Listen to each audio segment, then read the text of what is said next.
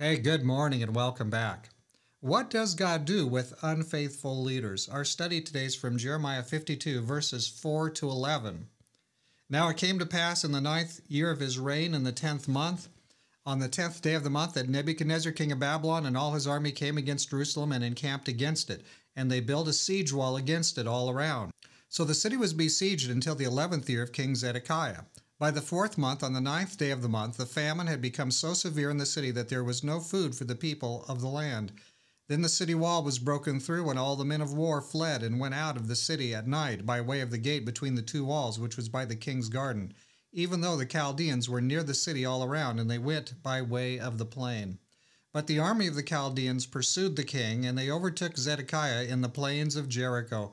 All his army was scattered from him so they took the king and brought him up to the king of Babylon at Riblah in the land of Hamath, and he pronounced judgment on him. Then the king of Babylon killed the sons of Zedekiah before his eyes, and he killed all the princes of Judah in Riblah. He also put out the eyes of Zedekiah, and the king of Babylon bound him in bronze fetters, took him to Babylon, and put him in prison till the day of his death. That's a pretty grim picture there. If only Zedekiah had done differently as again and again Jeremiah pled for him to do. So the siege of Jerusalem began about 588 BC and ended in 586. And by the time it got to the end, it was pretty severe, the situation. King tries to escape, he's captured. We just heard about it. Nebuchadnezzar was not a generous person some of the time. He kills the sons of Zedekiah before his face, and then he puts out Zedekiah's eyes and he, he's actually taken back to Babylon and dies a blind captive in Babylon. Tragic end. Now, in the first incursions of Babylon against Judah, there'd been two, two major incursions before this last one. Babylon had been pretty severe, but they left people alive, and it didn't seem like they were actually really trying to end the nation. But on this third one, and this was really severe, it was kind of like the total destruction. We're not going to allow there to be the kingdom of Judah. That was Zedekiah's plan here. So things are much more severe this time around. Now, not all unfaithful leaders have as bad, as, as openly bad as of an ending as Zedekiah had. Many times an unfaithful leader does his thing and he goes away into retirement today and and he'll face the Lord in the judgment. Hopefully he repents long before that. But unless the unfaithful leader repents, all he can expect is an ignominious end, a really bad end. And we want our leaders to be straight and true, men who can't be bought or sold, men who's, who knows what the truth is and they align like a compass arrow lining straight up.